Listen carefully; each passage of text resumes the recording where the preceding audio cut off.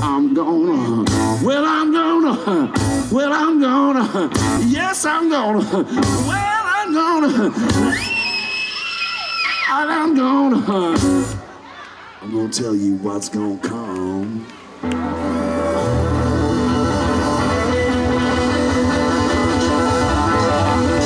John said, Do you know what? Wouldn't it be fun to have a blues festival in Nevis? Never been done before.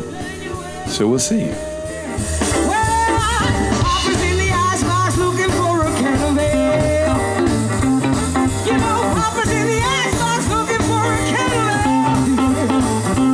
And it worked a treat right on the beach.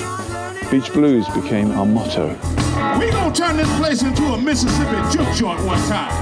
Is that all right? I said, is that all right? Why blues in the Caribbean? Yes, Lord. We going down to the hill. What excuse could I use to bring a blues festival to this tiny, unspoiled island?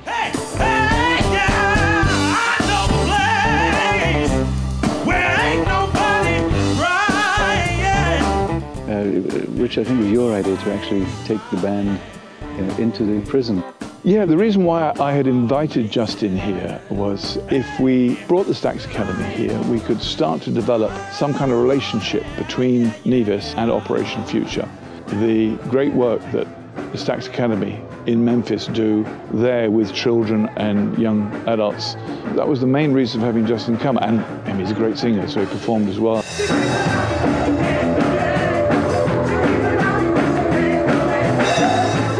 Brought the music to the island that very few islanders knew about.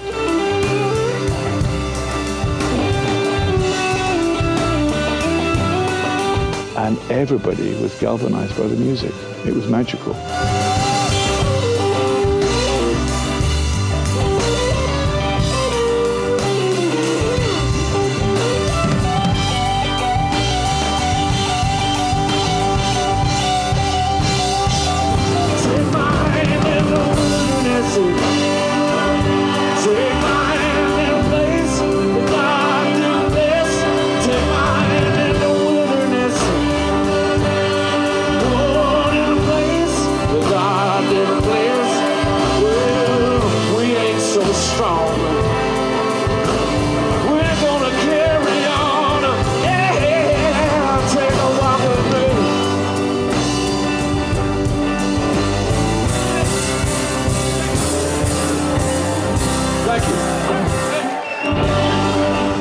It proves that it was worth taking the risk and that we weren't mad.